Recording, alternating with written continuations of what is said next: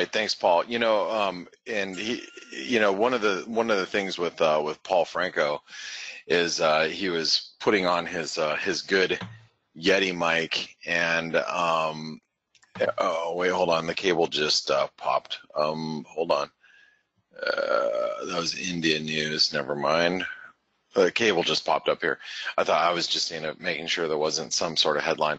A lot of times when uh, you see a real quick move, like I'll give you an example. Yesterday, yesterday, uh, Canada announced uh, that uh, they were going to start talking about, um, you know, the dairy, uh, the dairy issues with uh, with with the U.S. and the U.S. dollar Canadian actually went from 111 and i happen to be not looking at the headlines but in front of my computer and i was looking at price action and i saw the canadian react first and it dropped to 131 and i looked over to my right the headline had already just been released like you know i don't know three seconds earlier.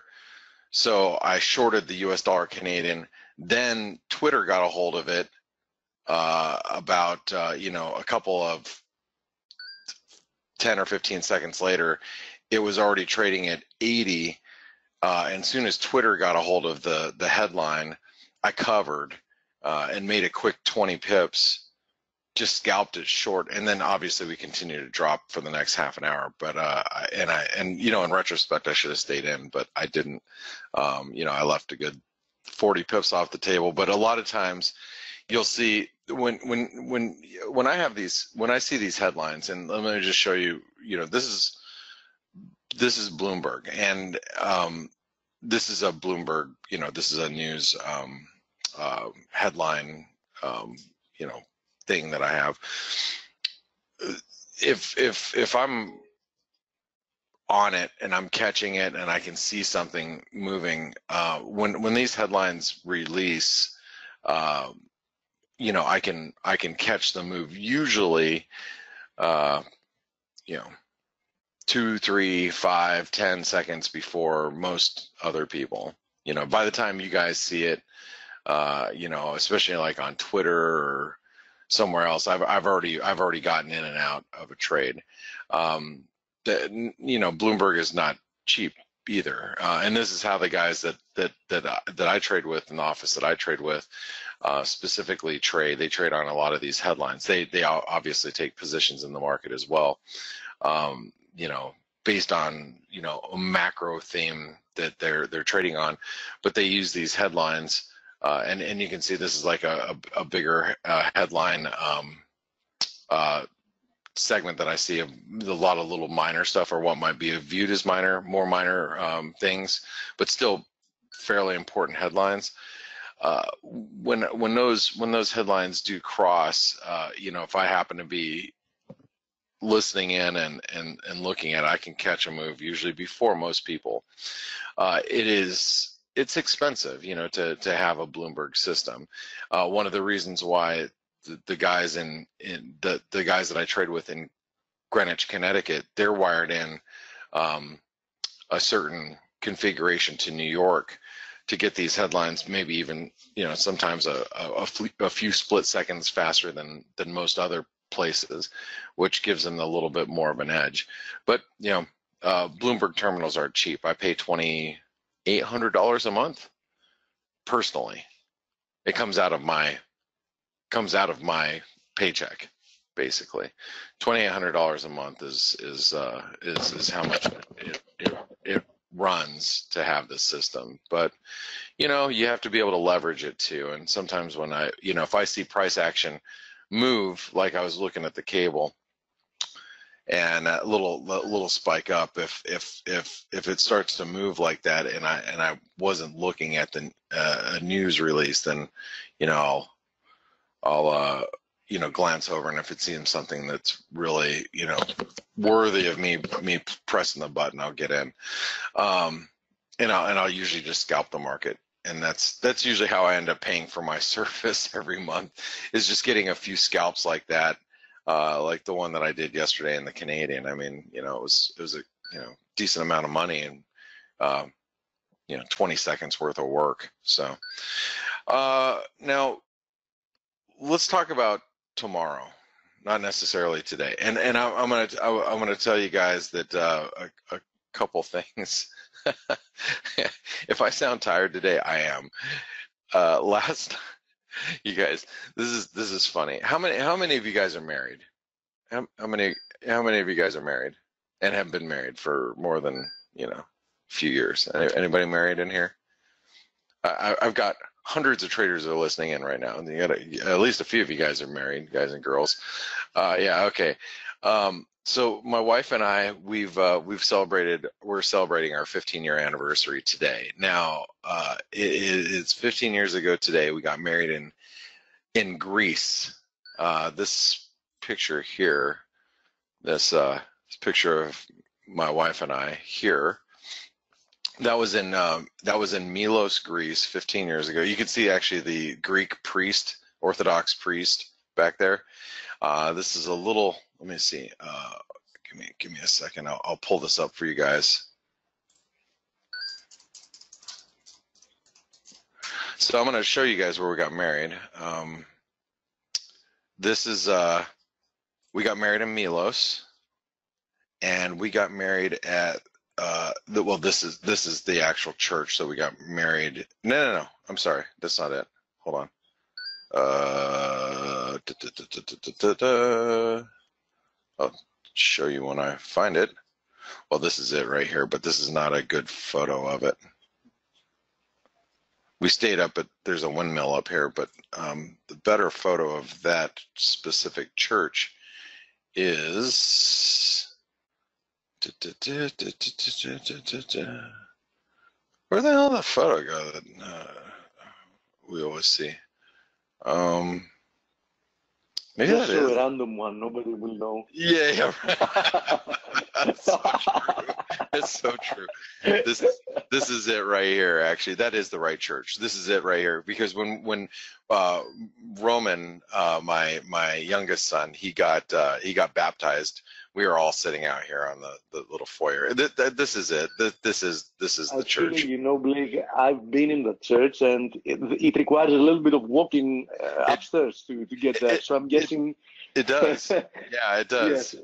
So I'm guessing all the guests, or you know, wearing like wedding dress, etc., couldn't have been yep. that easy. no, um, we we actually uh, we we we rented at that time, and this is you know this is 15 years ago.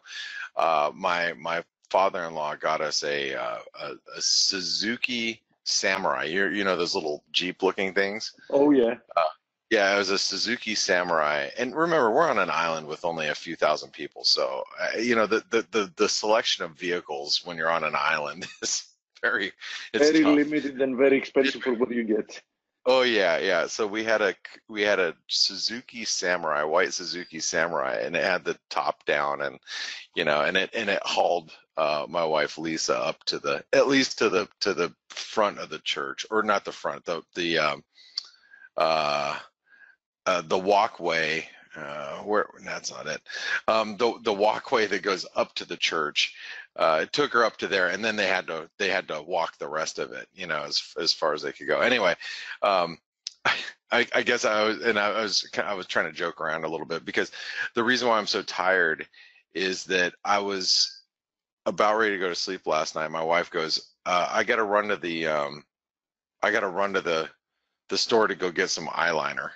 I'm like, it's like nine o'clock at night. And nine o'clock when you get up at three is you know it's obviously six hours before i'm waking up. She goes i gotta run to the store and get some eyeliner. I'm like i'm like okay all right i'm going to bed. And then i was laying in bed and she goes and i'm like thinking she's not going to get eyeliner. I'm like she's going to give me a card so she got home like half an hour later. I'm like, you find some eyeliner? She goes, oh yeah, yeah. I'm like, you know what? I'm going to go. I'm going to go get some eyeliner too. because I forgot to get a card.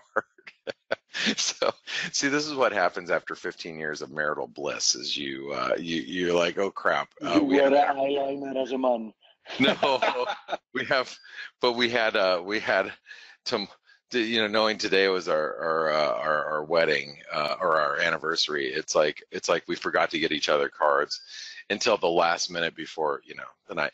So I actually went to the grocery store and I got her a card and I got her a uh, uh a um, uh, some flowers. But but jokes aside, we we're actually going to California here in the next month and a half to go celebrate. We're going to spend a couple of days in wine country just because uh, it's our kids' fall break. So you know, we'll have somebody come stay at our house or watch our house, and then we we'll, we'll take the kids to the in-laws to my my mother's home and drop the kids off there, and then we'll go to wine country. So we're actually doing our celebrating like a month and a half from now. That that was pre-planned. But so when it comes on to comes up to the day of our anniversary, uh, you know, um, had to go get some eyeliner. That's just that's how it happens. And if you've been married for any length of time, it happens. You know, it's. but if I sound tired, that's why. And the good news is I'm tired ahead of uh, what I think is going to be a big deal in the markets tomorrow. I I I, I was long some. Um, I, well, I, I picked up some Aussie US dollar last night, and and there's a pattern in play that I put in for the Aussie. So, and I put it in yesterday. I have traded the Aussie long twice since yes since I think I put it in yesterday. 10, 9, nine, ten, oh, two days ago.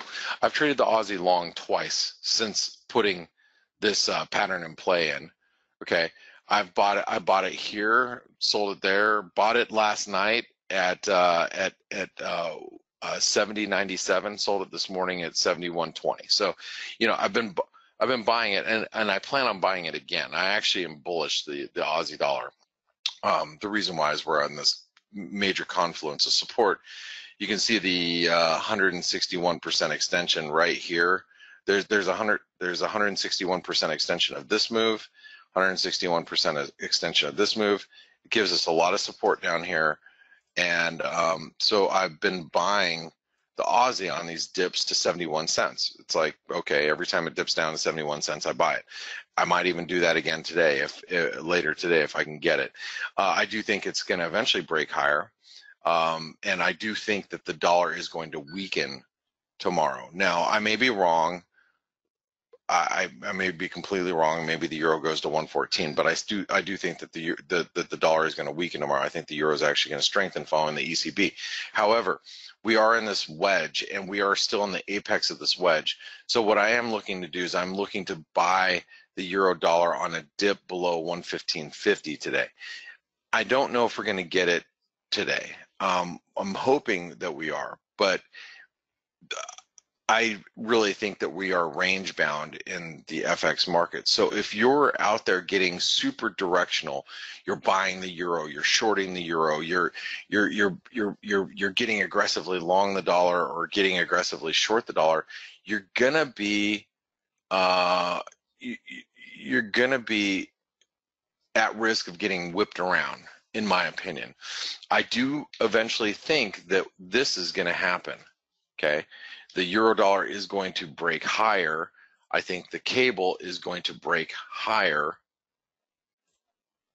I think the cable is going to break higher. I think the Aussie is going to break higher. I think the Kiwi on the 127% extension is going to break higher. I think the dollar Canadian is going to break lower down to this trend line here. I can't grab it. There it is. I think the the the Canadian is going to break lower. Uh, not really too sure. Well, I guess the Swissy is just yeah, it's still in a downtrend. It's gonna it's gonna break lower. You know, so I do think the dollar is going to weaken. I have no dollar position on right now. I am not. Um, wait, hold on. Who is you? Ewa? Ewa said, "I'm not interested in weddings." Look, this is a free webinar. If you don't like what I do here, you feel free to leave, or I will reject. I will eject you out of here. We like to personalize these webinars because look, I'm friends with these with with most of the people here. Okay. I've been broadcasting for years. For 15 years, I've been broadcasting to most of these people. And I have a personal relationship with most of them. If you don't like it, leave. You got it? Do you understand?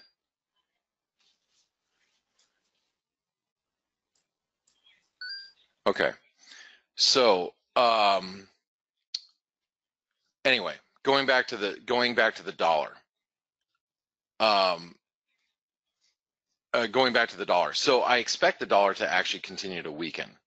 Um, I expect the dollar to continue to weaken, but I, that doesn't mean I'm I'm actually short the dollar yet.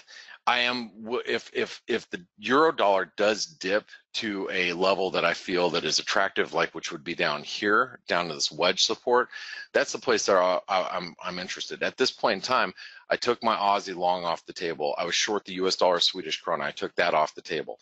Um, uh, I actually shorted the U.S. dollar Canadian last night at 77 uh, when it was up here last night at 77 uh, at 130.77 and I closed it. So I, you know, I'm, and I closed it this morning and I took that off the table as soon as I got up. And if you guys are in the, in the ForexAnalytix, here's the uh, ForexAnalytix chat room. Um, uh, uh, if you're if you're in the ForexAnalytix chat room, I I told everybody this morning that I, I picked up the the dollar on the uh, on the short side overnight, and then I just closed everything out. I'm not willing to sit in the market when we're right in the middle of the apex of this wedge. I'm just not willing to do it. Okay, this is you're you're in no man's land at this point in time. Okay, you're right here. You're in no man's land. Okay, so unless you're going to be short at the very upper end of the the the wedge, which you know this is a bearish wedge. If you if if if meaning there's lower highs and consistent lows, if you're at not at the upper end of this at, of this of this wedge, it, it doesn't make sense to be short. You can be short at 116.15 maybe being maybe being long and this is what i'm thinking is being long down here at 115.40 that's what i'd rather do. And the reason why you do that and let me let me kind of explain to you from a tactical standpoint. Tomorrow at this time so tomorrow uh, at, uh, at at at 8 a.m eastern just before the ecb meeting take take a guess where you think that we're going to be trading at in the euro dollar, if I'm right, and, and what I think, guess where we're going to be trading at tomorrow, 24 hours from now?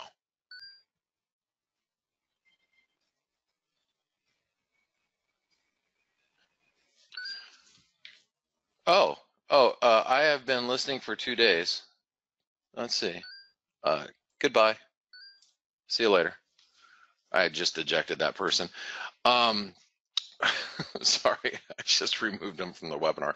Um, yeah, so uh, I haven't done that in years, by the way. I have not done that in years.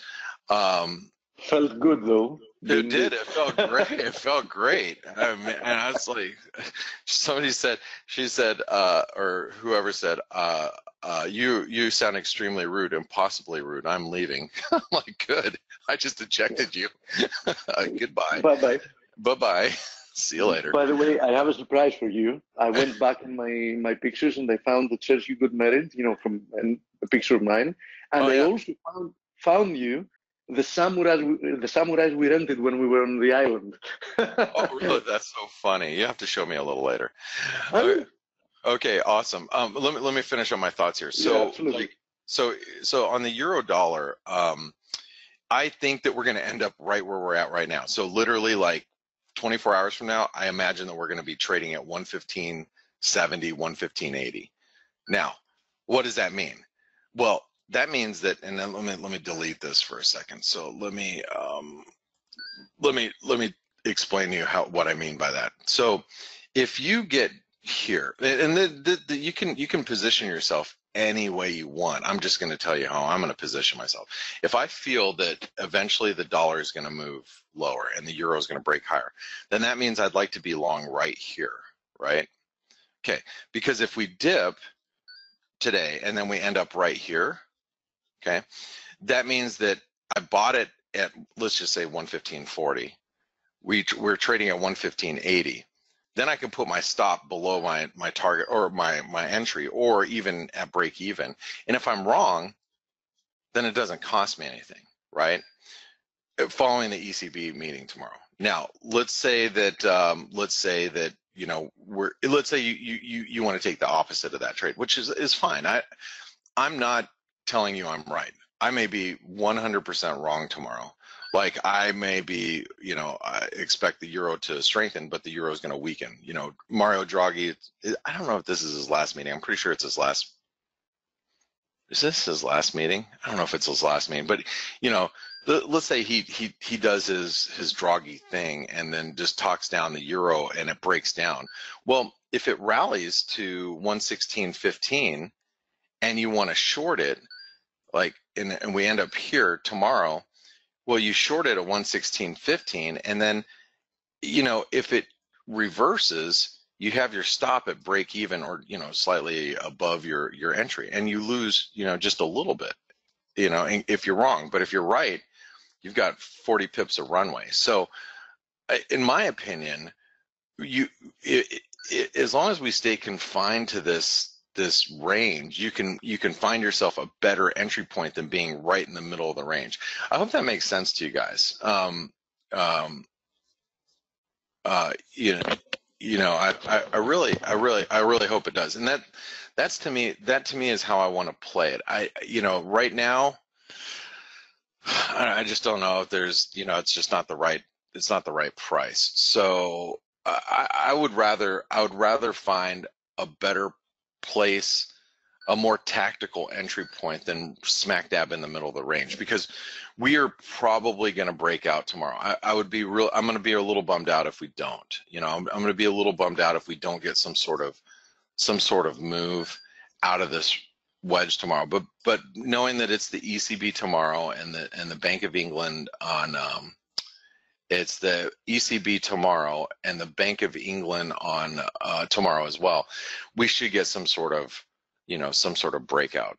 Um, and and while you're in the middle of the range, there's just not not a lot of reason to to be doing that. Now I'm going to talk a little bit more about. I want to talk about the the headline that came out yesterday.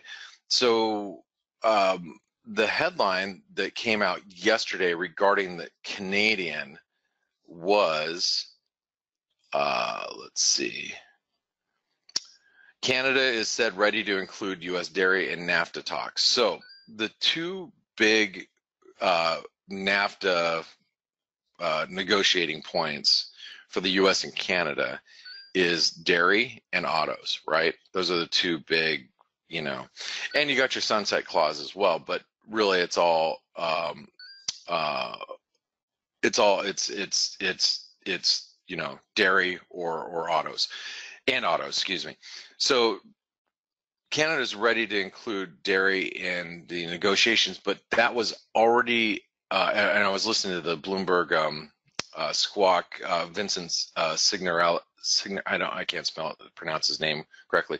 He's he's awesome though. I was listening to him uh, uh, uh, his commentary about um, NAFTA, which I agree.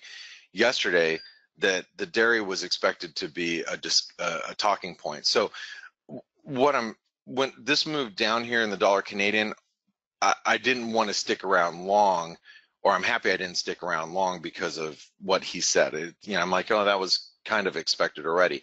Now, the reason why you have to be a little careful on this dollar Canadian dip. It tells you two things, right? The first thing is, and this is this is something that you got to think about, and this is something I told everybody in the chat room yesterday. I'm like, it tells us two things. One, NAFTA is not not even close to being done yet, right? NAFTA is not even done to, uh, close to being done because they, they still haven't even tackled dairy yet. Um, uh, but two, they are making progress, or at least Canada's back at the table. So therefore, I, it's not like I'm sitting here looking at the dollar Canadian, expecting it, or yesterday, expecting it to go straight down to 128. The only way this is going to happen right here is is if you have full-fledged dollar weakness. But at the same time, that also means that I would really like to sell the dollar Canadian on rallies because progress is being made. So, in my opinion, if we can get a move back up to like, you know, 131.20, 131.30, some somewhere up here, maybe, maybe you know this. I mean, maybe it's even here that that maybe that's that's you know as far as we're going to rally. Something, um, uh, and uh, Henrique said uh, dispute resolution panel as well. There's there's a lot of there's a lot of things that that that still need to be discussed regarding NAFTA that hasn't been addressed. I do think that they are making um, progress, but you know we we thought they've been making progress for the last seven or eight months. So, you know, I guess we're getting close, right?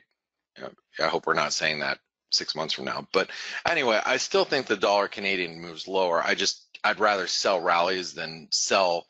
You know, if we break into new lows here, I mean, the last thing I'm going to be doing is chasing this lower, unless it, there there is a headline like NAFTA is done, like it's like they're signing a deal.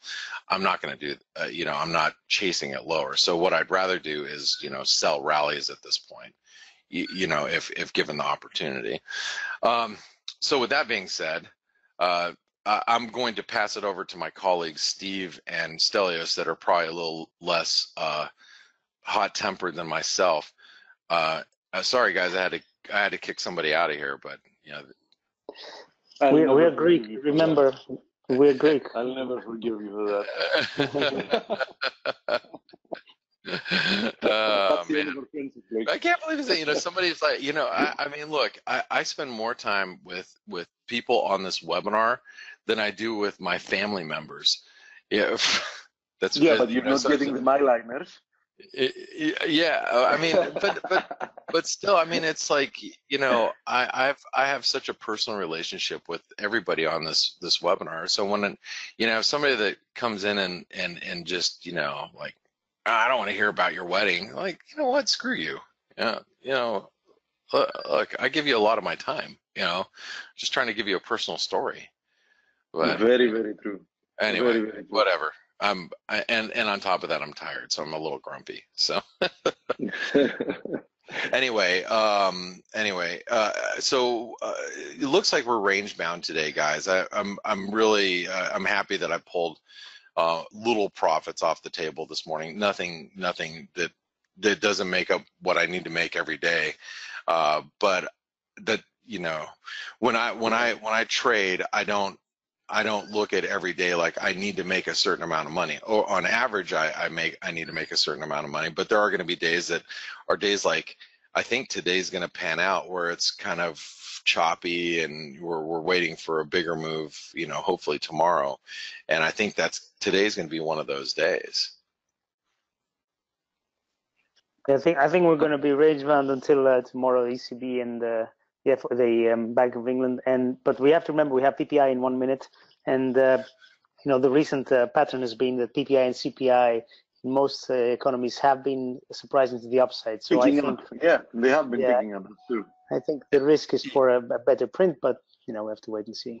Yeah, well, here's uh here's um PPI coming. I'll, I'll stick around for this really quick. I'll just hold on to the charts. Uh, here's the dollar yen. Uh, let's see, we are 30 seconds away. It's running like above 4% year on year, right? Uh, we, we're at uh, th- three, 3.2, 3.2. whatever. Yeah, so 3.2% right now, but you can see yeah, how it's trending higher. You know, see how it's it's trending higher in PPI. Yeah, yeah so so uh, you know, could be a strong print. Um, we'll wait.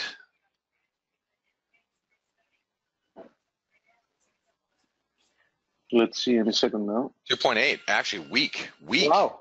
Wow. Did not expect that. Wow. Did not expect that. Yep. Wow. Dollar yen just dipped. Quite weaker than expected, actually. Yeah. Yep. And um, everything came in weak. Eek. Jeez. Just when you think that, uh, just when you think inflation is going to rear its ugly head, you know, no, we don't get it. So anyway, uh, I'm I'm going to pass it over to you guys, but uh, before I do that, there was something else I was going to say. Um, Maybe a word about our sponsors. Oh, maybe I should say a word about our sponsors. Hey, if you guys, uh, you know, have not checked out Forest Park FX, you should. It's uh, they and and and if you're in the uh, if you're in the U.S., uh, you can you can actually. And I had actually people asking about this yesterday.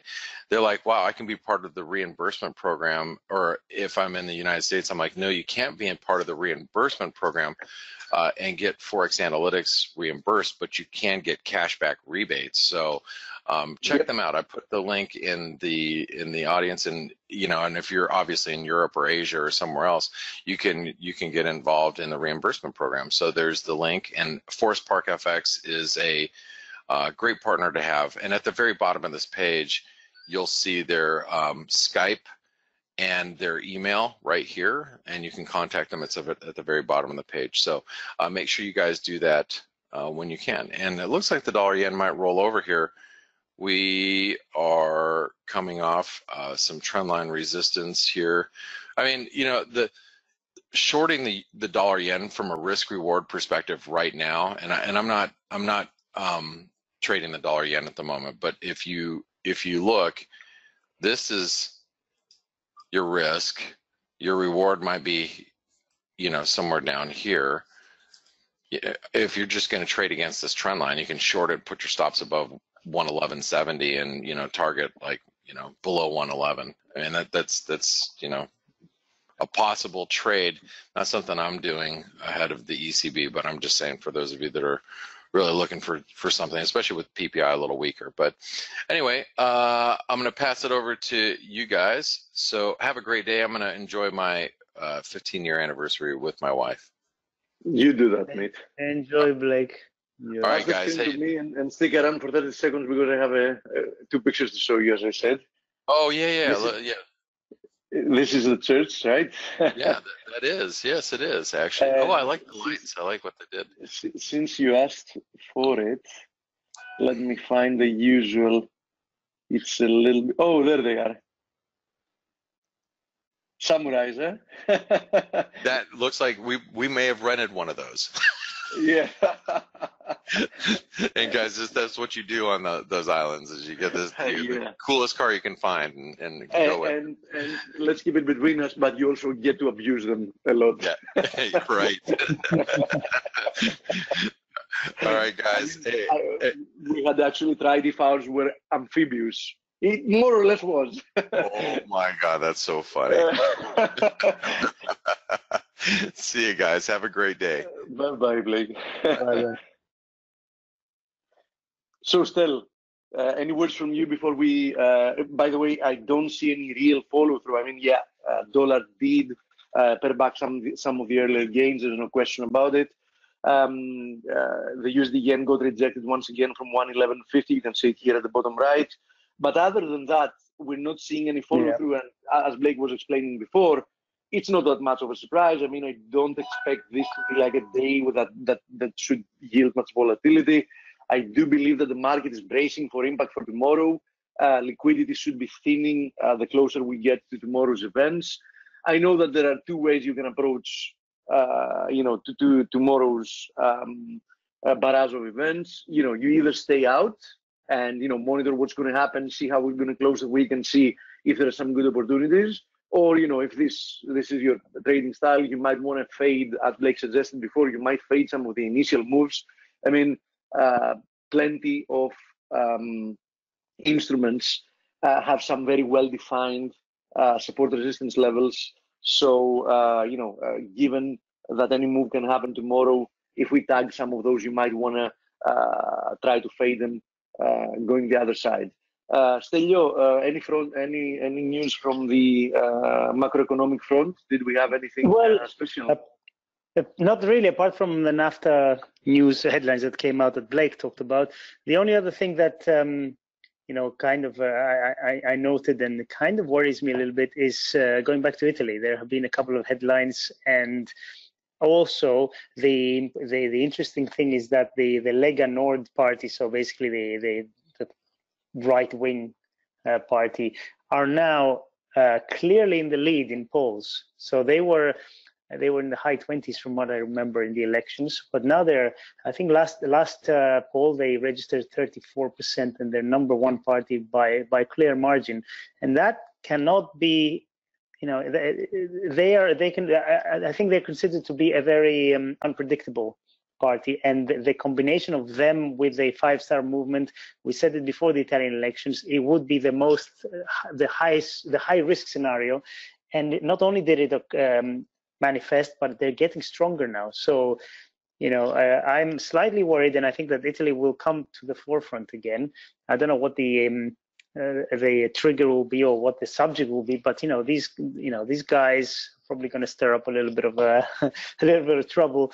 And oh, one um, thing is for sure, we we saw that in Greece as well. I mean, populist parties, you know, at the very beginning, they can even strengthen in popularity because they will immediately, you know, do do a few things that are, you know, quite uh, appealing to, yeah. you know, the mass of voters.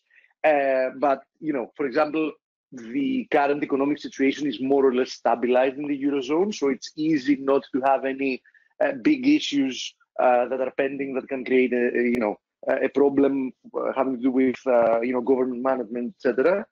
but I do think that um, you know we they, they will get in trouble at the first signs of um, an economic recession coming, uh, you know, a global economic recession or trouble in, in the eurozone, because at that point, um, the people that are voting for them and what they have actually, um, uh, you know, their platform, their, their political platform, will come in contrast to what they actually have to do to, you know, to improve the situation. So I think that you know they might have like a, a grace period as, as as as long as things are calm, but things might get a lot tough for Italy uh, if with this combination of parties in the government uh, we go into the next recession. So that's definitely going to be interesting to watch. There's no question and about the, it. And the other th- interesting thing is that we're seeing this in, in politics in general. The direction is changing, and you're seeing coalitions okay, maybe Greece is a is a small country,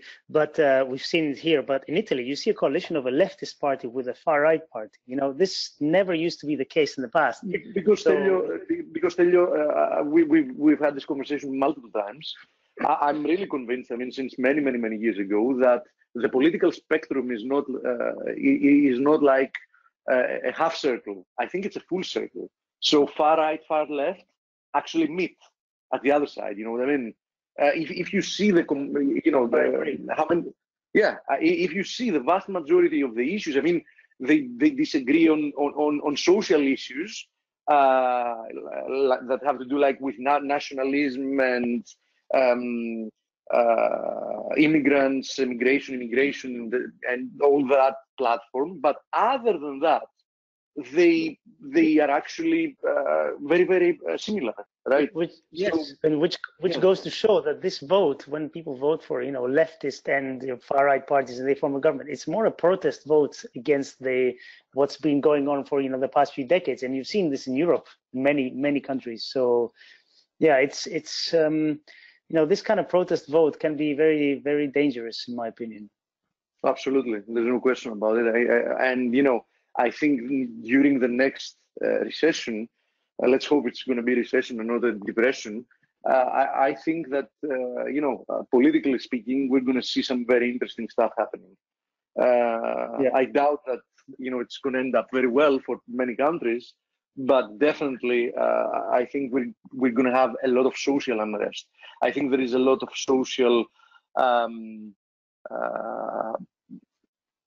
how can I say um, I think there's a, so, a, lot of social unrest that has been uh, staying, you know, subdued, but it's it's about to to to to implode. You know what I mean? I think there, there's just a catalyst missing for yeah, uh, yeah for a lot of bad developments to come around. Anyhow, let's yeah. go to our favorite uh, markets. Uh, obviously, not much has changed since yesterday, but we we still have a few things to have a look at. I know that um, I know Stelion, you need to help me. Let me start by talking about the USD CAD because we had a specific question about it. There was a question um, about me liking 131 and if that's still the case. Uh, yeah, actually that is still the case. Now, the, if the next question is, would I be buying it after yesterday's move? Not really, not yet, because yeah, I do like the fact that I believe there is a lot of potential for more upside. It might come from here, it might come from like 130, uh, especially if we consolidate a little bit. Um, but I would definitely not be buying it here, uh, you know, prior to what's happening tomorrow, because tomorrow we have a lot of event risk and the dollar, one way or another, is going to be um, affected. So, yeah, from a technical perspective, yesterday's drop was quite a big one, not exactly the best thing you want to see, but still hasn't really ruined the uh, technical situation here. I still believe that the prior move higher that actually penetrated through this descending channel is decently uh, impulsive. I am 1000% sure that no matter how you look at it, you cannot characterize this move lower as impulsive. So, you know, this move lower has very clearly uh, corrective characteristics. So the combination of that two, um, yeah, definitely uh, has me uh, still favoring strongly uh, the potential of a resumption higher, uh, at least to retest 133. Um, so let's see. Today, so far, we have a spinning top, which means more or less the market is undecided here, or anyhow, is consolidating yesterday's losses. Um, you know, I want to see a little bit more price action, but yeah, I think above 130 in, in general, USD CAD looks fine. Um, now, um, other than that, let's go have a look at a few more, not of the most popular pairs, because you know Blake already covered them. First of all, let me say here that USD NOK is is finally playing uh, ball nicely. I mean, I expected that there would be one more push lower before anything else happened, and we do see this. I mean, uh, we're pushing lower. Ideally, I would want to see this move take us uh, perhaps at these previous highs, confluencing more or less with a 50% uh, fib of the last move higher. So let's say 825 roughly, even down at 820. But I have to say here that, as you see, I had already drawn uh, such a move. Um, I'm afraid, and you know, it doesn't make from a macro perspective much sense. Let me go to the weekly. Uh, I'm afraid that USD NOK is actually very, very likely to end up breaking uh, to the upside at some point, right? Why? Because simply speaking, let me increase the size of the screen. Simply speaking, you know, this move lower, as we were showing before in the shorter term with the USD CAD, doesn't have any impulsive characteristics. I mean, uh, this move has been very, very, co very corrective in nature because it's overlapping. It's slow. I mean, we've spent so much time consolidating after a huge move higher, and in essence, we've gone more or less nowhere, right? So these kind of moves, you eventually expect them to break in the direction of the previous trend. There is no question where the previous trend was. I mean, it was uh, higher. So I know that Stelios doesn't like that. I don't really understand it from a macro perspective either. Uh, but you know, eventually, um, you know, I I wouldn't be surprised. I mean, to see this move break to to to see this consolidation break to the upside. Now, does that mean that we can't you know get rejected once again and find ourselves in the middle of the brains you know before something else happens yeah sure it can sure it can but you know we're close to resistance the recent price action that we see here seems corrective so i'm thinking here if this is a correction given the fact that we're now so close to trend line resistance you can see here this blue intermittent line which is the um, resistance that you were seeing on the weekly chart i think that it's very likely that we're going to see a breakout rather soon.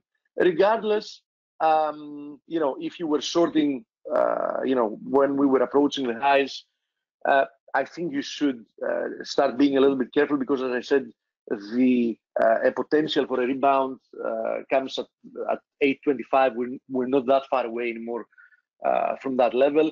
And another indication that perhaps this move is corrective is monitoring what USD SEK is doing. Because simply put, USD SEK seems to be consolidating. Um, I mean, this clearly looks like a bull flag, right? Uh, so I think it's even even better understood as a consolidation. Um, and I do think that USD has the potential of pushing higher as well. So can we actually uh, completely change?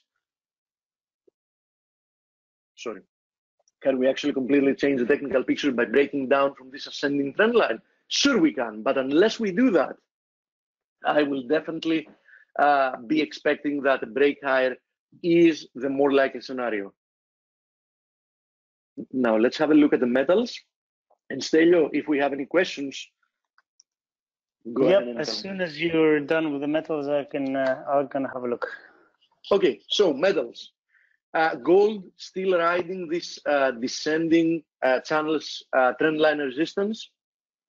So far, this move lower for gold uh, doesn't look impulsive. To be honest, for every day that passes, I start feeling a little bit more uncomfortable with being long, but not enough for me to abandon my thesis that there is one more leg missing to the upside. And as Grega was saying yesterday, and I totally agree with that, I do believe that uh, tomorrow can actually, you know, a, a, a, move, an actual move. He showed you how nicely they're correlated Euro USD and, and uh, gold. I think that tomorrow uh, a move higher in, in uh, Euro can actually finally lead um, gold to break to the upside as well. In which case, my target is the 38.2 of the last leg lower, which comes at 1238.40. Um, that's what where I'm going to be looking to get rid uh, of my position. So I still maintain uh, my thesis that there is a good chance that we have at least one more leg to the upside uh, before anything else happens, which likely is a, a move lower to resume. I mean, uh, you know, we need to see a lot more than breaking above 1238 to actually turn bullish, uh, you know, in the medium or long term in, in gold. Now, having to do with silver, silver tagged yesterday almost to the pip um, the flash crash low at, at 1391 roughly. Um, so, uh, you know, I think it can even push a little bit lower, but definitely we're seeing a divergence here. I mean, uh, silver has been uh, has been trading to new lows. Even yesterday, it actually uh, intraday uh, pushed lower, while gold is certainly diverging. So these kind of divergences, you know, I, I, I monitor closely. You can you you can find these kind of divergences between similar currency pairs, metals, and many times they point to a turn in the market. For example, um, timing uh, a reversal in the Aussie or Kiwi by seeing the other one diverging, like seeing you know new highs in one, uh, the other one not following, or new lows in one, the other one not following. So you can use that method in in several markets when two markets are actually very closely correlated to uh, each other. Okay, so uh, for silver, you know, uh, everything has to do with this descending channel. I, I think it's it's very clearly defined. Um, we need to see a breakout from this descending channel. In essence, I would want to see uh, a break above 14.30. I think that you know a move above uh, $14.30 uh, can open uh, some upside. Uh, why not? I mean, $15 I think can come easily, uh, or even a little bit higher towards this previous support at 15.20. Um, and you know, given the fact that people have turned extremely bearish and COTs are showing uh, every single week even more uh, record uh, one-sided positioning um, for both the metals. I, I do think that there is a very, very good potential that once they actually snap back and you know they start rebounding, only by position cover we might end up getting bigger moves than even we initially expect. Okay, uh, so um, having said that, let's go to copper. Your uh, your sound is crackling. Copper, the more time it's not breaking up, it's crackling. You just keep keep talking, I'll tell you if it uh, carries on. Okay, Celia, you go ahead and tell me. So uh, I'm I'm on my 4G router, by the way. I'm not on my connection. It's, it's better. It's better now. It's it's much better now. Okay. Okay. So, um, you know, the more time copper spends here consolidating in what looks to be like a triangle, uh, obviously the higher the chances that this is going to be resolved to the downside, in which case I'm going to be looking for the next area of support, which is at 245. So, you know, for every day that passes and we don't make it above 273, uh, you know, the chances of another push lower towards uh, you know that support area uh, they, they they definitely increase Now, um, unsurprisingly, the metal that's better behaved, and we, we were saying that, is palladium. And not only that, just look at this. I mean, we had a V-shaped recovery in palladium. We had an extremely nice follow through. As I expected, I had mentioned that the 1000 zone is a very hard zone to crack. The 200 daily moving average is there. Uh, it's, it's a psychological, a very strong psychological level that has acted in the past as support resistance. Um, so, you know, we, we are seeing the 1000 level restricting uh, price action, holding uh, out.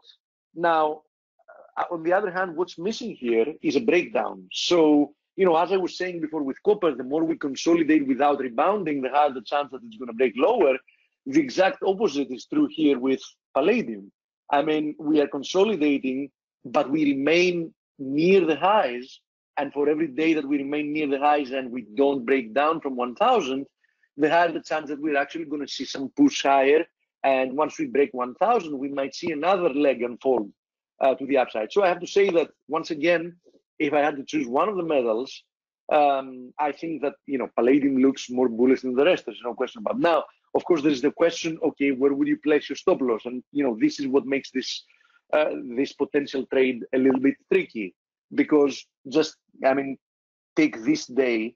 Uh, it was the 18th of September as an example. That day, like we had like a move lower of from the highs of roughly forty dollars, and the metal ended up uh, closing unchanged on the day. So you know it's a little bit tricky uh, finding after that V-shaped recovery that we had. Um, you know, a, play a reliable place to place your um, stop loss, and then so then you can measure a target and, and, and feel comfortable about it. So you know that's what keeps me uh, sideline having to do with uh, Palladium.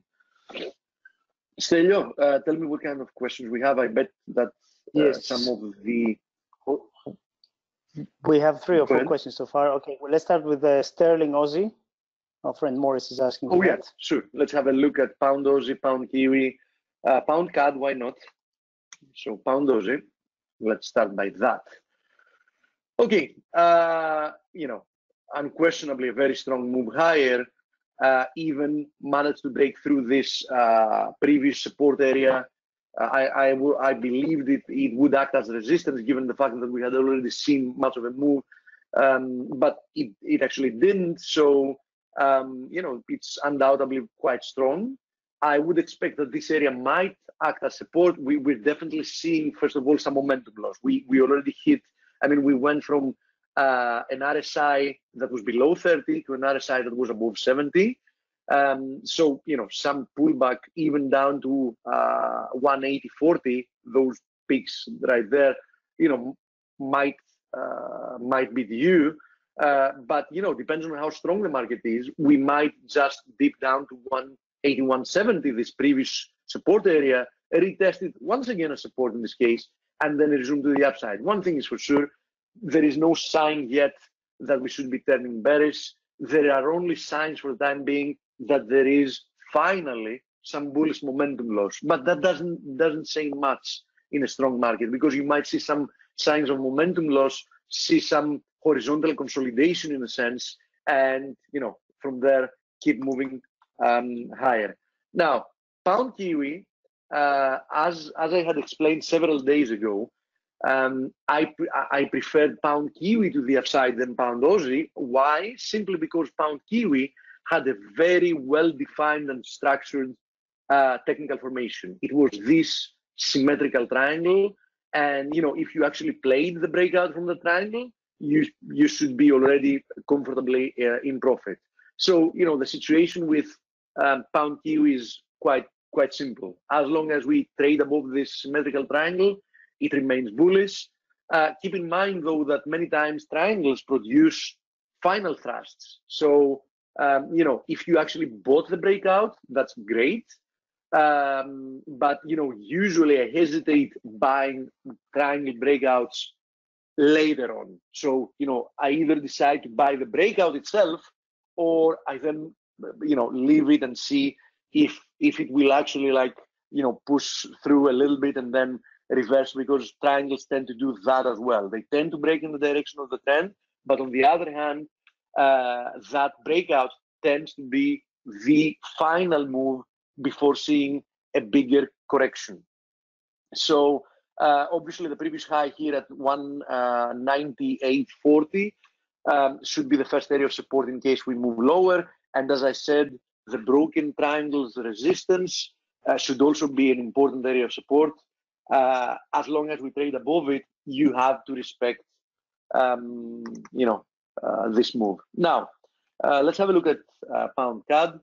Pound CAD um, is uh, showing some signs that we might have found a low because look at how nicely this descending channel has uh, worked, uh, you know, in pinpointing um, the low that we had there. The market actually came back and retested it. So uh, not only we tested the channel support and moved higher, but we also actually afterwards formed like a double bottom.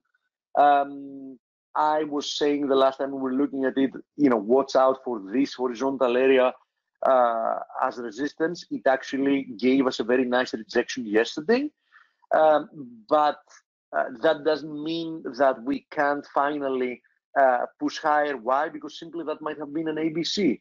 So uh, this 171.70 area, quite an important one.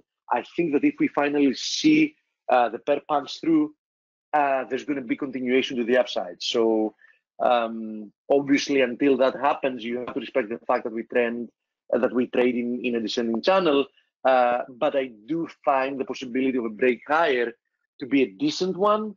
And if that actually happens uh, and we break out from this confluence of resistances, I think that you need to respect it. I, I wouldn't be considered that as a false break. It most likely won't be. Um, obviously, um, you know, for any decent follow through uh, to come uh, for any of the pairs, I want to see cable finally break above this 130 area, right? Because one this 130 area um, is it's the second time that actually stalls price action. Uh, I strongly believe, and I still believe that the chances are very high that this time we're actually going to uh, break through it. If that is the case, if that actually happens, I do think that the market should find the strength to rally to at least 133, which is the confluence of previous support and resistance area and the 38.2 from uh, uh, you know the highs uh, that we had in April to the lows that we had in August. Um, Stelio, give me more questions, please. We have uh, three or four more. Uh, I mean, we're close to the top of the hour. Uh, do you want to have a look at um, our friend Niraj is asking for Nifty? It's something we, we look at every once in a while. I think it, uh, I don't know if you want to have a look at that. I know he's asked for it for the couple, uh, last couple of days, so um, probably nice to have a look at it now. Absolutely. Absolutely. Uh, this is the last time we had a look at the Nifty. I was showing at this triangle. I had explicitly said that the break above this triangle should definitely lead uh, to uh, to some strong follow through. We actually made it, uh, you know, comfortably to new highs, and now we're pulling back. So far, this pullback so far wouldn't worry me if I was bullish, right? I mean, it's somewhat strong, but I don't think that uh, it's enough to worry that it's impulsive uh, one way or another. So um, I think that I would be looking at the previous high as support, 11,170. That might actually do the trick. We are already seeing some nice reaction from the 50 daily moving average. Um, and if actually 11,170 uh, doesn't prove enough, you know, for the correction. We might even see uh, a dip lower towards 10,900. Uh, as always, I've said that plenty of times, you can never uh, guess a corrective move in advance, but you know, a corrective move can take several forms. One of them can be a triangle. So that's one probability, a triangle. Now there is another probability that this is going to end up being uh, instead of forming a triangle, it might um, end up you know, producing one more leg lower. So we might see rebound and another leg lower and then higher from there. Um, uh, you know, or even you know more complicated uh, cases like a double zigzag or whatever. But uh, whatever the case is, I think this is a healthy pullback. I mean, we've had a move from uh, 9,900 and whatever it is, 40 to where we were with in between only having that's a, an 18% move. And in between, the only thing we had was a consolidation, a you know, a consolidation within a triangle. So I think that, you know, um, as I said, the pullback is healthy and I wouldn't be that much worried if I was bullish. Okay. What else, Stelios? Okay, uh, we have a couple of more questions. I actually have to go, uh, have to run, so I'll tell you what the, the questions are, and then maybe we can close it. Um, uh, we have our friend Bill asking for oil, and Martin asking for dollar Swissy. Uh, did we have a look Absolutely. at oil earlier? Did Blake have a look at no. oil? I can't remember. No, uh, I'm not sure, but I don't think he did actually. Okay. Okay, crude.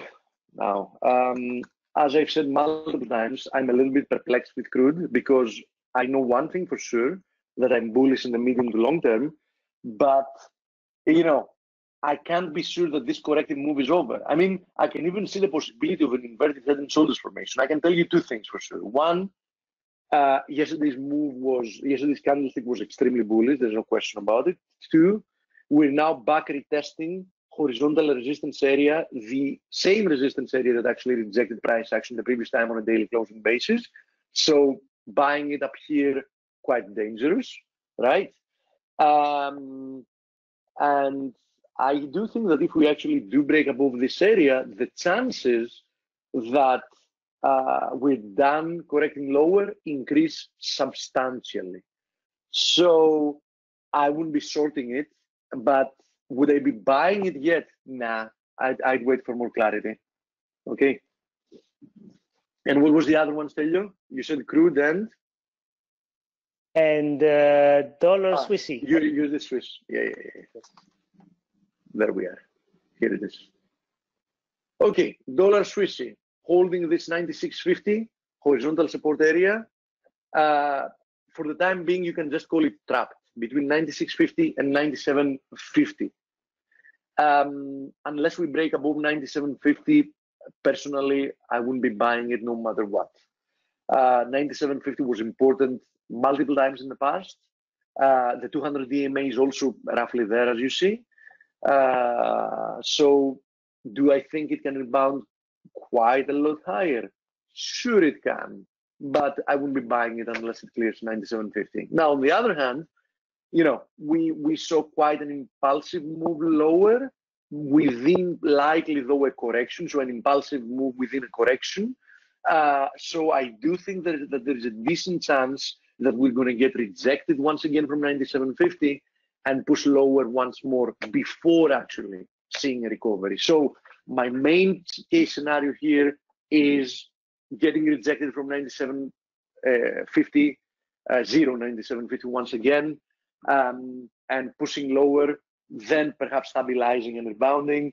Uh, one thing is for sure, I wouldn't be persuaded to buy it below 97.50 in any way. Okay. So thank you all very much. We'll be in the chat room, and as always, we'll be here tomorrow. Let's hope that Dale is going to be feeling better so he can join us. Thank you very much, Stelio and uh, Blake, and have a lovely day.